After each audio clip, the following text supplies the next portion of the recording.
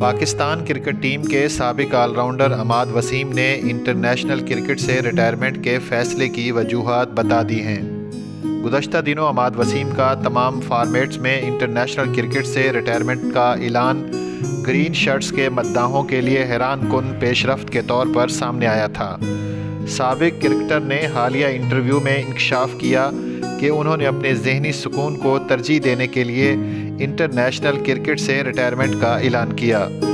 उन्होंने कहा कि मैं जहनी सुकून में नहीं था, अगर जहनी सुकून होता तो कभी रिटायरमेंट का फ़ैसला न करता। अमाद वसीम का कहना था कि ये ज़िंदगी है और इसमें सब कुछ मुमकिन है।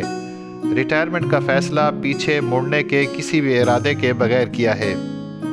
नाजरीन, आखिर में छोटी सी गुजारिश कि अगर आपने अभी तक हमारे चैनल रोशन पाकिस्तान विद शफीक शुजात को सब्सक्राइब नहीं किया तो सब्सक्राइब कर दें। साथ बेल आइकन का बटन ज़रूर दबा दें ताकि हमारी हर आने वाली नई वीडियो आप तक बसानी पहुँच सके। शफीक शुजात को दुआ में याद रखिएगा। अल्लाह ने अल्लाह हाफिज़।